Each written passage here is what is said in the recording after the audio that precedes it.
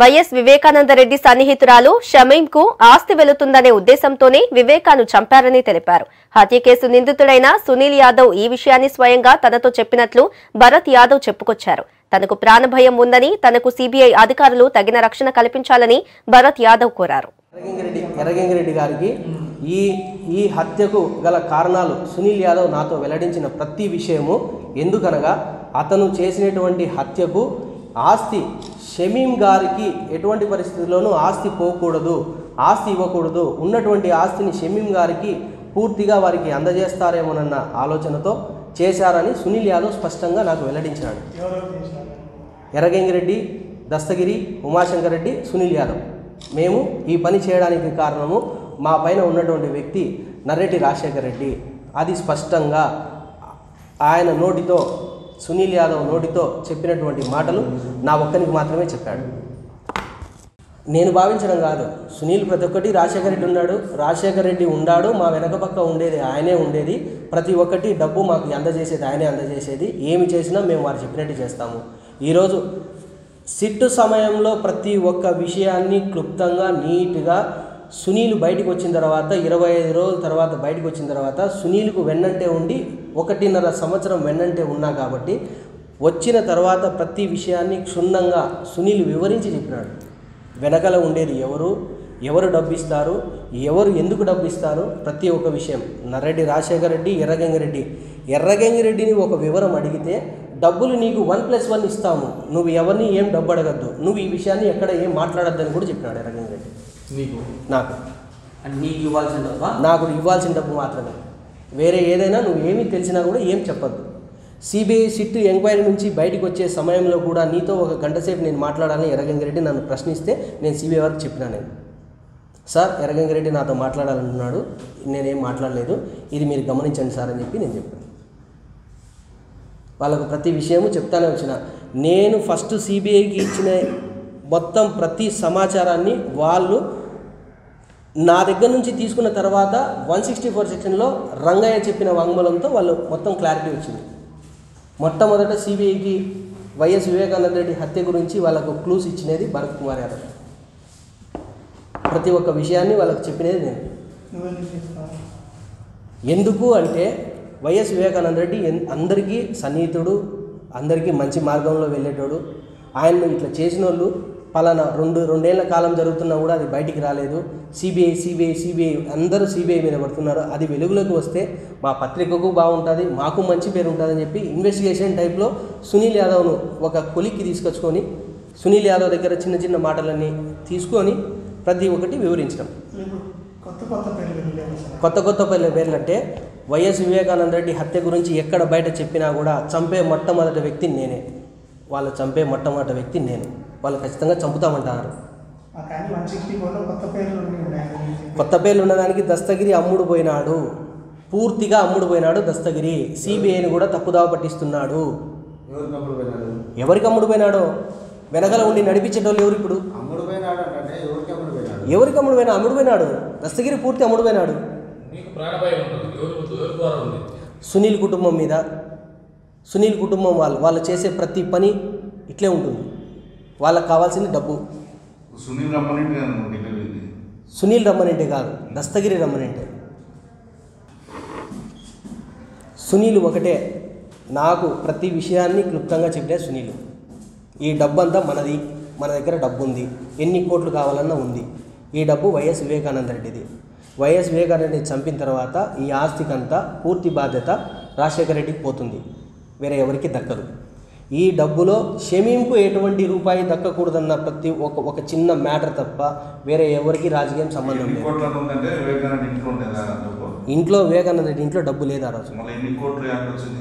అది హవాలా డబ్బు అన్నారు. హవాలా డబ్బు సంబంధించి నాకు రెండు నెంబర్లు కూడా సునీల్ యాదవ్ ఇచ్చినాడు. ఇచ్చిన డేట్తో సహా నేను ఎన్ని కోట్లు అని మాత్రం వాళ్ళు ఉంది మొత్తం పెద్ద మొత్తం ఉంది మా దగ్గర.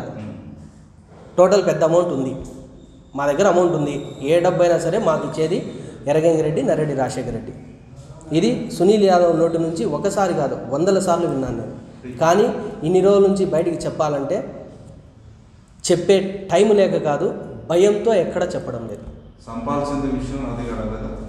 సంపాల్సి వచ్చింది చంపాల్సి వచ్చిన విషయం ఒకటే ఇల్లీగల్ అఫైర్ వాళ్ళ కుటుంబాలకు సంబంధించి మాకు అన్యాయం చేశాడు మా ఇళ్ళల్లో వాళ్ళని ఇబ్బంది పెట్టినాడు? సునీల్ యాదవ్. మా ఇంట్లో వాళ్ళని ఇబ్బంది పెట్టినాడు మాకు వైఎస్ వివేకానంద రెడ్డి.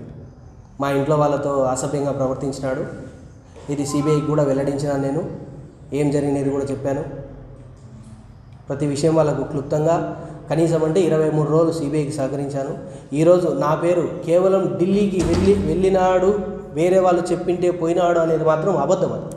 ఎటువంటి పరిస్థితుల్లోనూ సాధ్యం సాధ్యం లేదు అసలు. నాకెవరూ చెప్పలేదు. స్వతహాగా స్వయంగా వాళ్ళే వచ్చి అడిగి డబ్బులు అప్పు తీసుకొని మాకు తెలియని ప్రాంతానికి పోతున్నాం రాండి అంటే నేను ఎప్పుడు చూడలేదని చెప్పేసి పోయినాం మేము. అంతే తప్ప ఎవరికి ఏ కారణం లేదు. నేను ఒక్కనే పోయినా. నేను దస్తగిరి. ఫ్లైట్ టికెట్లు కూడా ఉన్నాయి నా దగ్గర? ఈ నుంచి ఈ నుంచి హైదరాబాద్ హైదరాబాద్ నుంచి. నేను దస్తగిరి సునీల్ యాదవ్ కాదు. సిబిఐ సిబిఐని కలవడానికి. అంతేనా? Um, okay. YS Vivekananda Reddy హత్య విషయమై గత కొద్ది కాలంగా సిబిఐ వారు ఎంక్వైరీ చేస్తున్నటువంటి ఎంక్వైరీలో నన్ను విచారించడం జరిగింది. విచారణకు పూర్తిగా సిబిఐకి సహకరించారని వారు నేను చెప్పిన ప్రతి విషయాన్ని క్లుప్తంగా తీసుకొని కొన్ని అన్ని రకాలైనటువంటి కోణాల్లోనూ విచారించారని చెప్పారు. కానీ ఢిల్లీకి వెళ్ళిన విషయము ఏరో ఎవరో చెప్పారు ఎవరో చేశారు అని ఏదో కొంతమంది చెప్పిన మాటలు నమ్మి టీవీలలో పేపర్లలో కొన్ని వార్తలు సంబంధించి రావడంతో చాలా ఇబ్బందికరమైన వాతావరణాన్ని నేను ఎదుర్కొంటున్నాను. కానీ ఈ విషయాన్ని క్లుప్తంగా ప్రజలకు వెల్లడించాలని అలాగే సిబిఐ వారికి కూడా వెల్లడించాలని నేను ఈరోజు మీడియా ముందుకు వచ్చాను గత కొద్ది రోజులు కొద్ది కాలం సునీల్ యాదవ్తో పరిచయం చాలా బాగా ఏర్పడింది. ఏర్పడి అతను చేసిన ప్రతి పనిలోనూ నన్ను ఏదో ఒక కోణంలో వాడుకుంటూ ఈరోజు పదే పదే పదే పదే చిన్న విషయాలకు కానీ చిన్న విషయంలో కానీ ఏదైనా సరే అతను మాట్లాడే ప్రతి విషయంలోనూ ఏదీ చెప్పుకోకుండా తన స్వార్థానికి నన్ను వాడి నాతో కొంత మొత్తాన్ని తీసుకొని ఈరోజు కొన్ని విషయాల్లో కాకుండా అన్ని విషయాల్లోనూ ఏదో భరత్ ఏదో చేశాడు అనే విధంగా వార్తలు వస్తున్నాయి. కానీ నేను సునీల్ యాదవ్ అతనికి ఎలాంటి ఇబ్బంది లేకుండా అతనితో సావాసం చేసి కానీ అతను చెప్పే ప్రతి మాటను క్లుప్తంగా ఒక్కొక్క పాయింట్ను తీసుకొని అతను హత్యకు గల కారణాలు వెల్లడించిన ప్రతి విషయాన్ని ఈరోజు పేపర్ మూలకంగా నేను రాసి సిబిఐ వారికి డైరెక్టర్ గారికి అందజేయాలనుకుంటున్నాను. కానీ కొన్ని విషయాల్లో ప్రాణభయం ఉన్నందువలన సిబిఐ వారికి కూడా వెల్లడించలేని వెల్లడించలేని పరిస్థితుల్లో మీడియా ముందుకు రావాల్సి వచ్చింది. ఈ హత్యకు కేవలం డబ్బు ఆస్తి రెండు మాత్రమే కారణం. అని సునీల్ యాదవ్ తన సొంత నోటితో తన స్వహస్తాలతో చెప్పినటువంటి తన తను చెప్పిన ప్రతి మాట నేను క్లుప్తంగా రాశాను. ఇదే విషయాన్ని సిబిఐ వారికి కూడా వెల్లడించాను. కానీ వారు ఇంకా ఎవరో ఇంకా ఎవరో ఇంకా ఎవరో అంటుంటే నేను ప్రాణభయంతో వారికి ఒక విషయం చెప్పుకోకుండా ఉన్నాను. ఈరోజు ఢిల్లీకి వెళ్ళినాడు ఢిల్లీకి పలానాలు పంపించింటే పోయినాడు అనే ప్రతి విషయాన్ని పేపర్లో టీవీలలో వస్తుంటే అవమానం తట్టుకోలేక ఈరోజు మీడియా ముందుకు వచ్చాను. దయచేసి ఈ వార్తను చెప్పినటువంటి భరత్ కుమార్ యాదవ్కు ప్రాణహాని కలుగుతుంది. కనుక నన్ను దయవుంచి సునీల్ యాదవ్ నుండి నర్రెడ్డి రాజశేఖర రెడ్డి గారి రెడ్డి గారి నుండి ప్లస్ ఎర్రగెంగిరెడ్డి గారి నుండి నన్ను కాపాడవలసిందిగా కోరుతున్నాను.